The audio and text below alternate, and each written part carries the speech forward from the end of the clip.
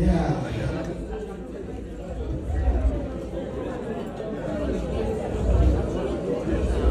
Alhaji Abelare wọ́n tún ní kí recognize yín ọ̀dẹ́lẹ̀ kẹta o. I recognize my great brother Ìsẹ́yọ̀rọ̀ ọmọ ẹgbẹ́ nígbọ́gán ọmọ Ìsẹ́yọ̀rọ̀ ọmọ ṣiṣẹ́ tí mo ní kí wọ́n ìlú ẹ̀yẹ kìkì ẹwà níbi tó ní wọ́n ti mọ́ni tó ń tẹnu lọ níbi tí kìkì ṣe ti ń fọ̀ bí ọ̀pọ̀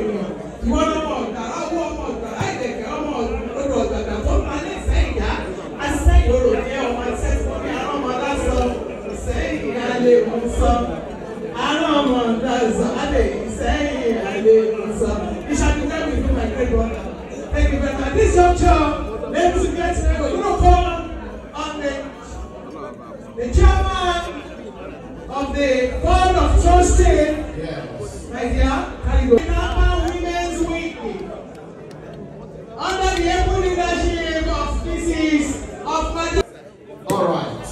The chairman board of trustees is about to speak to us, and that's no other person.